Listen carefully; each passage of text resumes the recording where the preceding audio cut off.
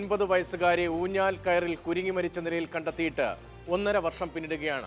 ഇവിടെയും കുട്ടി നിരന്തരമായി ലൈംഗിക ചൂഷണത്തിന് വിധേയമായി എന്താണ് പോസ്റ്റ്മോർട്ടം റിപ്പോർട്ടിലെ കണ്ടെത്തൽ. എന്നാൽ പ്രതിയെ പിടികൂടാൻ ഇതുവരെയും പോലീസിന് കഴിഞ്ഞിട്ടില്ല. രണ്ടായിരത്തി പത്തൊൻപത് സെപ്റ്റംബർ ഒൻപതാം തീയതിയായിരുന്നു കേസിനാസ്പദമായ സംഭവം. ഇവിടെ ഉണ്ടായിരുന്ന ഒരു ഊഞ്ഞാലിൽ കുരുങ്ങിയാണ് ഒൻപത് വയസ്സുകാരിയെ മരിച്ച നിലയിൽ കണ്ടെത്തിയത്. ആദ്യം അതൊരു അപകട മരണമായിട്ടാണ് പോലീസ് വിലയിരുത്തിയത്. എന്നാൽ പോസ്റ്റ്മോർട്ടം റിപ്പോർട്ട് വന്നപ്പോൾ കഥ മാറി. ഒന്നര വർഷമായി പെൺകുട്ടി നിരന്തരം ലൈംഗിക ചൂഷണത്തിന് വിധേയമായിരുന്നു എന്നാണ് പോസ്റ്റ്മോർട്ടം റിപ്പോർട്ട്. ഇതോടെയാണ് അപകടമരണം എന്ന് കരുതിയിരുന്ന സംഭവം കൊലപാതകമാണോ എന്ന സംശയം ഉയർന്നത്.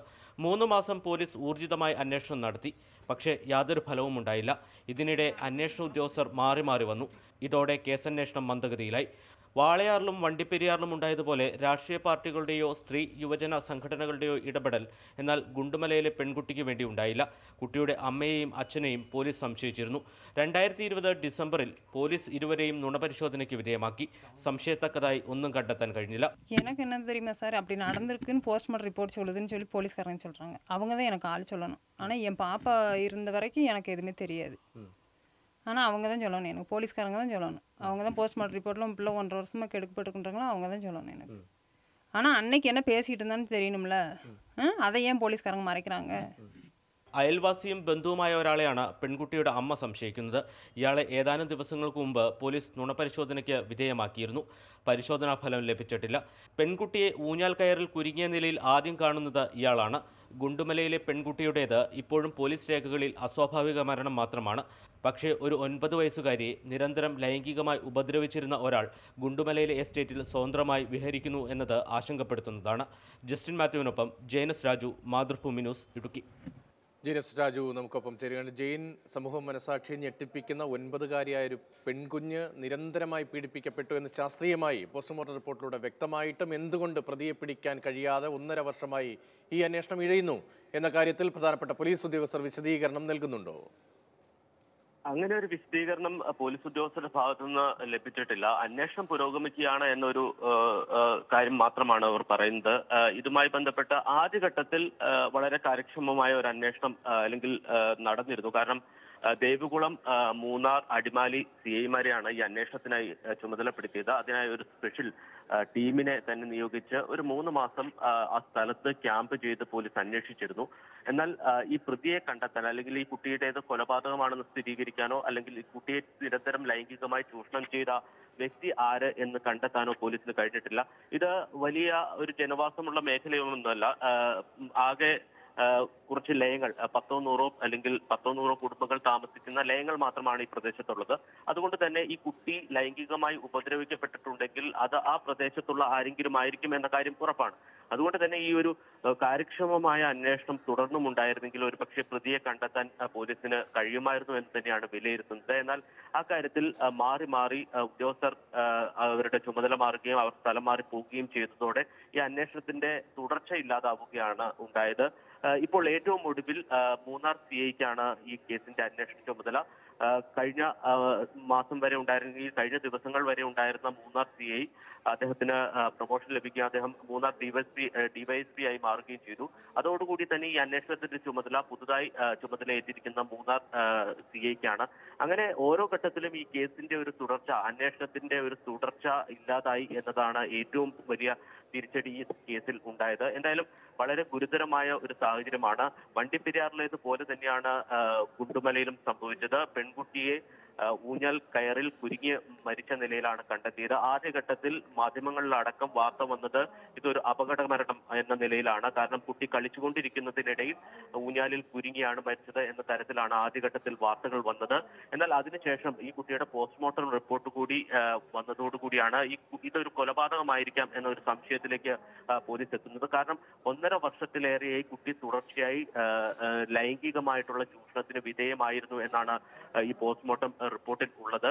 അപ്പോഴും ഈ പോസ്റ്റ്മോർട്ടം റിപ്പോർട്ട് കുട്ടിയുടെ അമ്മയ്ക്ക് അവർ കുട്ടിയുടെ കുടുംബം രേഖാമൂലം ആവശ്യപ്പെട്ടിട്ട് പോലും അത് ലഭ്യമായിട്ടില്ല എന്നുള്ളതും വസ്തുതയാണ്. എന്തായാലും ഈ കേസിന്റെ ഒരു തുടർച്ചയും അതിന്റെ അന്വേഷണം പിന്നീട് അതിനകത്ത് കാര്യമായ പുരോഗതിയും ഉണ്ടായില്ല എന്നുള്ളതാണ് ഏറ്റവും ഗുരുതരമായ ഒരു സാഹചര്യം എന്നതാണ് മനസ്സിലാക്കേണ്ടത്. എന്തായാലും വണ്ടിപ്പെരിയാറിലേത് പോലെ തന്നെയാണ് ഈ സംഭവം നടന്നിരിക്കുന്നത്. തോട്ടം ടാറ്റയുടെ കീഴിലുള്ള എസ്റ്റേറ്റിലാണ് ഈ ഈ മരണം അല്ലെങ്കിൽ ഈ അപകട മരണം അല്ലെങ്കിൽ ഈ ദുരൂഹ മരണം സംഭവിച്ചിരിക്കുന്നത്. അതുകൊണ്ട് തന്നെ ഈ കേസിൽ കാര്യക്ഷമമായ ഒരു അന്വേഷണം ഉണ്ടായിരുന്നു. നമുക്കറിയാം വണ്ടിപ്പെരിയാറിനും വാളയാറിനും എല്ലാം വലിയ രീതിയിൽ പ്രതിഷേധങ്ങൾ ഉണ്ടായതാണ്. കാരണം യുവജന സംഘടനകളുടെയും സ്ത്രീ സംഘടനകളുടെയും രാഷ്ട്രീയ പാർട്ടികളുടെയും എല്ലാം ഇടപെടൽ രാഷ്ട്രീയ പാർട്ടികളുടെയും എല്ലാം ഇടപെടൽ ഈ രണ്ട് കേസുകളിലും ഉണ്ടായതാണ്. എന്നാൽ ആ കാലഘട്ടത്തിൽ നടന്ന ഒരു വാളയാർ സംഭവത്തിന് സമാന്തരമായി അല്ലെങ്കിൽ ആ സമയത്ത് തന്നെ അടുത്ത കാലത്ത് നടന്ന ഒരു സംഭവമായിരുന്നിട്ട് കൂടി ഈ ഒരു അല്ലെങ്കിൽ ഈ ഒരു ദുരൂഹ മരണത്തിലേക്ക് ആരുടെയും ശ്രദ്ധ പതിഞ്ഞില്ല എന്നുള്ളതാണ് ഏറ്റവും വിഷമകരം. ആരും ഈ കുഞ്ഞിന് നീതി ലഭ്യമാക്കാൻ ആരുടെ ഭാഗത്തുനിന്നും ഒരു ഇടപെടലോ സമ്മർദ്ദമോ ഉണ്ടായില്ല. എന്തുകൊണ്ടാണ് ഒന്നര വർഷമായിട്ടും ഈ ഗുണ്ടുമലയിലെ മരണത്തിലെ ഈ നിശബ്ദത സത്യം പുറത്തു വരാത്തതിന്റെ കാരണം എന്താണ് എന്നാണ് അറിയേണ്ടത്. പോലീസ് ഉദ്യോഗസ്ഥരടക്കം പ്രതികരണങ്ങൾ നമ്മൾ പ്രതീക്ഷിക്കുന്നുണ്ട്. ഇപ്പോൾ മരിച്ച കുഞ്ഞിന്റെ അച്ഛൻ ടെലിഫോണിലുണ്ട്. അച്ഛ എന്തുകൊണ്ട് ഒന്നര വർഷമായിട്ടും സത്യം കണ്ടെത്താൻ പോലീസിന് കഴിയാതെ പോകുന്നു? പോലീസ് അന്വേഷണം കാര്യക്ഷമമല്ല എന്നാണോ മനസ്സിലാക്കേണ്ടത്? Sir good morning. ആദ്യം പോലീസിൽ അവർ ഇൻവെസ്റ്റിഗേഷൻ ചെയ്യ ചെയ്തായിരുന്നു. കഴിഞ്ഞിട്ട് പിന്നെ ഇതുവരെ പോസ്റ്റ്മോർട്ടം റിപ്പോർട്ട് നിങ്ങളുടെ അടുത്ത് കാണിച്ചിട്ടില്ല. പക്ഷെ പോസ്റ്റ്മോർട്ടം റിപ്പോർട്ട് എലിയെ കൂട്ട് ഒരു ദിവസം അവർ നോക്കിയായിരുന്നു. പക്ഷെ അതിലുള്ള മെഡിക്കൽ വേർഡ്സും മറ്റു സയന്റിഫിക് വേർഡ്സും എനിക്ക് അറിയത്തില്ല. അതുകൊണ്ട് ലീഗലായിട്ട് ഞങ്ങൾ അപ്രൂവ് ചെയ്തു. ഇവിടുത്തെ സി എത്ത് അപ്രൂവ് ചെയ്തു. പോസ്റ്റ്മോർട്ടം റിപ്പോർട്ട് വേണമെന്ന് പറഞ്ഞു. പിന്നെ ഇവിടുത്തെ സി എ പറഞ്ഞു അങ്ങനെയായിട്ട് കൊടുക്കാൻ പറ്റില്ല. ആദ്യം ഡൗട്ടൊക്കെ പേരൻസ് ഇവിടെ ഉണ്ടായത് കൊണ്ട് അങ്ങനെ പറഞ്ഞു. പിന്നെ അതുകൊണ്ട് രണ്ടായിരത്തി ടൂ തൗസൻഡ് ട്വന്റി ഡിസംബർ മാസം ഞങ്ങളുടെ പേരൻസിനും അവിടെ അവർ പാലിഗ്രാഫ് ടെസ്റ്റിന് കൊണ്ടുപോയി. പാലിഗ്രാഫ് ടെസ്റ്റ് കൊണ്ടുപോയിട്ട് ഞങ്ങൾ ചോദിച്ചായിരുന്നു. അപ്പോൾ അവർ പറഞ്ഞു ഡൗട്ടൊക്കെ ഉണ്ട്. എന്തെങ്കിലും ഞങ്ങൾ ശീഘ്രം കുറ്റവാളിയെ പിടിക്കുമെന്ന് പറഞ്ഞു. പക്ഷെ ഇതുവരെയ്ക്കും ഒന്നും പിടിച്ചിട്ടില്ല. ഞങ്ങൾ പോലീസ്ക്ക് എത്ര ഞങ്ങളെ കൊണ്ട് ഹെൽപ്പ് ചെയ്യാൻ പറ്റുമോ അത്രയും ഞങ്ങൾ ഹെൽപ്പ് ചെയ്യാൻ ഇതുവരെയ്ക്കും ഞങ്ങൾ ഹെൽപ്പ് ചെയ്തിട്ടുണ്ട്. എന്തെങ്കിലും ഇതിന്റെ കൺക്ലൂഷൻ ഒന്നും വന്നിട്ടില്ല സാർ. ഇപ്പോൾ ഒന്നര വർഷം കഴിയുകയാണ്. ഈ അന്വേഷണ ഉദ്യോഗസ്ഥർ മാറി മാറി വരികയായിരുന്നു. ഓക്കെ. അതോ ഒരു- ഒരു ഉദ്യോഗസ്ഥൻ തന്നെ തുടർച്ചയായി അന്വേഷിക്കുകയായിരുന്നു? സാർ ആദ്യം ഇവിടെ ക്രൈംബ്രാഞ്ച് ഒരു നാല് മാസം ഇവിടെ ഒരു ക്യാമ്പ് ഇട്ട് ഉണ്ടായിരുന്നു ഇത് ഇത് കേസിന് വേണ്ടി. പിന്നെ ക്രൈംബ്രാഞ്ച് ആദ്യം ആദ്യമുള്ള ഡി എസ് പി അവർ പറഞ്ഞു ക്രൈംബ്രാഞ്ച് അന്വേഷിക്കുന്നു പറഞ്ഞു.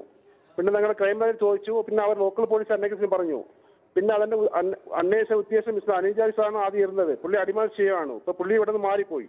പിന്നെ അത് കഴിഞ്ഞിട്ട് പിന്നെ പുതിയതായിട്ട് ഒരു സി എ വന്നു. അപ്പൊ പുള്ളി ഞങ്ങൾ സി എ ഞങ്ങൾ കണ്ടായിരുന്നു. അപ്പൊ പുള്ളി പറഞ്ഞ് ഇൻവെസ്റ്റിഗേഷൻ നടക്കുന്നുണ്ട്. പെട്ടെന്ന് കുറ്റവാളി കണ്ടുപിടിക്കുക ഇങ്ങനെ പറയുന്നുണ്ട് സാർ. ഇപ്പോൾ നിങ്ങളെ അടക്കം അച്ഛനെയും അമ്മയും അടക്കം നുണപരിശോധനയ്ക്ക് വിധേയമാക്കി എന്നാണ് ഞങ്ങളുടെ റിപ്പോർട്ടർ നൽകുന്ന വിവരത്തിൽ നിന്ന് മനസ്സിലാകുന്നത്. അങ്ങനെ നിങ്ങളെപ്പോലും സംശയമുനയിൽ നിർത്തി. പക്ഷേ നിങ്ങൾ കുറ്റക്കാരല്ല എന്നവർക്ക് ബോധ്യപ്പെട്ടിരിക്കുന്നു. കുഞ്ഞ് നിരന്തരമായി പീഡിപ്പിക്കപ്പെട്ടു. ഒൻപത് വയസ്സ് മാത്രം പ്രായമുള്ള കുഞ്ഞ് ഈ മരണം നടക്കുമ്പോൾ ആരൊക്കെ വീട്ടിലുണ്ടായിരുന്നു ആരെയാണ് സംശയം? അക്കാര്യങ്ങളിലൊക്കെ ചില വിവരങ്ങൾ നൽകാൻ നിങ്ങൾക്കും കഴിഞ്ഞിട്ടുണ്ടാകുമല്ലോ പോലീസിന്? അതെ സാർ. ഞങ്ങൾ ഞങ്ങൾ അവിടെ എന്താ നടന്നിട്ടുണ്ട് ഞങ്ങൾ സംശയമുള്ള ആൾ എല്ലാം ഞങ്ങൾ പെറ്റിഷൻ കൊടുത്തു. ഒരു മൂന്ന് പേജിന്റെ ഒരു റിട്ടേൺ കംപ്ലൈന്റ് ആയിട്ട് ആദ്യം സി എ എടുത്ത് ഞങ്ങൾ കൊടുത്തായിരുന്നു സാർ. ഇതിന് എന്താ നടന്നിട്ടുണ്ട് എങ്ങനെ നടന്ന് കാണും ഇതെല്ലാം ഞങ്ങൾ കൊടുത്തിട്ടുണ്ട്.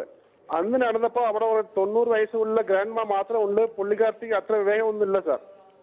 അപ്പൊ അമ്മയും പണിക്ക് പോയി സാർ. ആ പണി ഡിസ്റ്റൻസ് എന്ന് പറയുന്നത് നാൽപ്പത്തഞ്ച് കിലോമീറ്റർ ഡിസ്റ്റൻസ് നാഗുണ്ട് അതെ സാർ. ശരി Idukki M P Shri Dean Kuriakose കൂടി ഇപ്പോൾ ടെലിഫോണുണ്ട്. ശ്രീ ഡീൻ കുര്യാക്കോസ് മാധ്യമ ശ്രദ്ധ വരുമ്പോൾ മാത്രം ചർച്ചയാകുമ്പോൾ മാത്രം പ്രത്യേക അന്വേഷണ സംഘം അല്ലെങ്കിൽ ഒരു ഗതിയും കിട്ടാതെ ഈ കുഞ്ഞുങ്ങളുടെ മരണം അത് അസ്വാഭാവിക മരണം എന്ന ഗണത്തിൽ തള്ളപ്പെട്ടു പോകുന്നു. എന്താണ് ഈ ഗുണ്ടുമല സംഭവത്തിൽ സംഭവിച്ചത്? എന്തുകൊണ്ട് പോലീസിന് ഒന്നര വർഷമായിട്ടും സത്യം കണ്ടെത്താൻ കഴിയാതെ പോയി എന്ന് പൊതുപ്രവർത്തകൻ എന്ന നിലയിൽ ജനപ്രതിനിധി എന്ന നിലയിൽ താങ്കൾ മനസ്സിലാക്കിയിട്ടുണ്ടോ? അത് അന്വേഷണത്തിലെ പാളിച്ചയാണ് എന്ന് തന്നെ പറയേണ്ടി വരും. കാരണം ഇത്രയും കാലമായിട്ടും യാതൊരു കിട്ടിയിട്ടില്ല എന്ന് പറയുമ്പോൾ ഈ നാട്ടിൽ ഇത് എന്താണ് സംഭവിക്കുന്നത് എന്നതിനെ സംബന്ധിച്ചുള്ള ഒരു വ്യക്തമായ സൂചനയാണ്. കാരണം ഇക്കാര്യത്തിൽ ഇപ്പൊ പല പല അന്വേഷണ ഉദ്യോഗസ്ഥന്മാർ മാറി മാറി വരുന്നു. അച്ഛനെയും അമ്മയും അടക്കമുള്ള അല്ലെങ്കിൽ ആ വീട്ടിലുള്ള ആളുകളെ ഉൾപ്പെടെയുള്ള മുഴുവൻ ആളുകളെയും ചോദ്യം ചെയ്യുന്നു. അല്ലെങ്കിൽ സംശയത്തിന്റെ മുൾമുനയിൽ നിർത്തിയൊക്കെ കാര്യങ്ങൾ മുൻപോട്ട് പോകുന്നു. ഇതൊക്കെ കേൾക്കുമ്പോൾ സ്വാഭാവികമായി നമുക്ക് തോന്നിപ്പോവുക അത് അന്വേഷണത്തിലെ അനാസ്ഥയാണ് എന്ന് തന്നെയാണ്. അപ്പൊ ഈ കാര്യത്തിൽ ജാഗ്രതയോട് കൂടിയിട്ടുള്ള ഒരു അന്വേഷണം നടന്നിട്ടില്ല എന്ന് തന്നെ പറയേണ്ടി വരും. ഇപ്പൊ പല പ്രാവശ്യവും നമ്മൾ ഈ കാര്യത്തിൽ പോലീസിൽ ബന്ധപ്പെടുമ്പോഴും അല്ലെങ്കിൽ ഈ കാര്യത്തിൽ എന്താണ് സംഭവിച്ചിട്ടുള്ളത് എന്ന് വെച്ചാൽ പ്രദേശവാസികൾ ഉൾപ്പെടെയുള്ള ആളുകൾ ഞങ്ങളോട് ഈ കാര്യങ്ങൾ ചൂണ്ടിക്കാണിച്ചിട്ടുണ്ട് നേരത്തെ പക്ഷേ അപ്പോഴെല്ലാം നമുക്ക് കിട്ടുന്ന മറുപടി എന്താ? അത് കൂടുതൽ ജാഗ്രതയോടുകൂടി അന്വേഷണം പോകുന്നുണ്ട്. കൂടുതൽ കാര്യങ്ങളിലേക്ക് കടക്കുന്നുണ്ട് എന്നൊക്കെയുള്ള ഒരു മറുപടിയാണ് ലഭിക്കുന്നത്. ഇതുവരെയും പ്രതികളെ പിടിക്കാനോ അല്ലെങ്കിൽ ഏതെങ്കിലും തരത്തിലുള്ള ഒരു പുരോഗതി കൈവരിക്കപ്പെട്ടു എന്ന് പറയാനോ കഴിയുന്നില്ല എന്നുള്ളതാണ്. ഏറെ ഖേദകരമാണ് ഈ കാര്യത്തിൽ കാര്യങ്ങൾ ഉച്ചയെന്ന വേഗത്തിലാണ് പോകുന്നത് എന്നുള്ളത് ആ നിലയിൽ തന്നെ നമ്മൾ കാണേണ്ടിയിരിക്കുന്നു. ഈ ഒരു ഒൻപതുകാരിയായ പിഞ്ചുകുഞ്ഞ് നിരന്തരം പീഡിപ്പിക്കപ്പെട്ടു അസ്വാഭാവികമായി മരിക്കുന്നു. അങ്ങനെ ഒരു കേസ് ഇങ്ങനെയല്ല അന്വേഷിക്കേണ്ടത് എന്ന കാര്യത്തിൽ എല്ലാവർക്കും ബോധ്യമുണ്ടാകും. കാര്യക്ഷമത തെളിയിച്ച ഉദ്യോഗസ്ഥരുടെ ഒരു പ്രത്യേക സംഘം അത് അന്വേഷിച്ചാൽ ഒരു പക്ഷേ വേഗത്തിൽ സത്യം കണ്ടെത്താൻ കഴിയില്ലേ? മാത്രമല്ല വളരെ കുറച്ച് ആളുകൾ താമസിക്കുന്ന ഒരു മേഖലയാണല്ലോ. കുറ്റവാളി അവിടെയുള്ള ആൾ ആൾ തന്നെയാകുമെന്ന കാര്യവും ഉറപ്പാണ്. അപ്പോൾ അങ്ങനെ ഒരു പ്രത്യേക അന്വേഷണ സംഘം ആ നിലയിലൊക്കെ ഒരു ആവശ്യം ഉന്നയിക്കാൻ നിങ്ങളടക്കമുള്ളവർ തയ്യാറാകുമോ? തീർച്ചയായും അത് തന്നെയാണ് പറയേണ്ടത് കാരണം ഈ ഒരു തരത്തിലുള്ള ഒരു ഇൻസ്പെക്ടറെ കൊണ്ട് മാത്രം ഈ കാര്യം പരിഹരിക്കാൻ പറ്റില്ല എന്നുള്ളത് ബോധ്യമായി കഴിഞ്ഞിരിക്കുന്നു അപ്പോൾ ഏറ്റവും മുൻപായ ഉദ്യോഗസ്ഥന്മാർ ഏറ്റവും കഴിവ് തെളിയിച്ച പ്രഗത്ഭരായ ഉദ്യോഗസ്ഥന്മാരുടെ ഉൾപ്പെടെ നേതൃത്വത്തിൽ വളരെ കൃത്യമായ ശാസ്ത്രീയ തെളിവുകൾ ഉൾപ്പെടെ പരിശോധിക്കപ്പെട്ട് അല്ലെങ്കിൽ ശേഖരിക്കപ്പെട്ട് ആ ഒരു നിലയിൽ തന്നെ കുറ്റവാളികളെ കണ്ടെത്താനുള്ള സമീപനം ഉണ്ടാകണം. അതിനുവേണ്ടി ഉന്നത നേതൃത്വത്തിൽ നിന്ന് ഇടപെടൽ ഉണ്ടാകണമെന്ന് കൂടി ഞാൻ ഈ ഘട്ടത്തിൽ ആവശ്യപ്പെടുകയാണ്. ഏതായാലും എം പി എന്നുള്ള നിലയ്ക്ക് ഈ കാര്യത്തിൽ ഞാൻ മുഖ്യമന്ത്രിക്ക് ഇന്ന് കത്ത് നൽകാനും തീരുമാനിച്ചിട്ടുണ്ട്.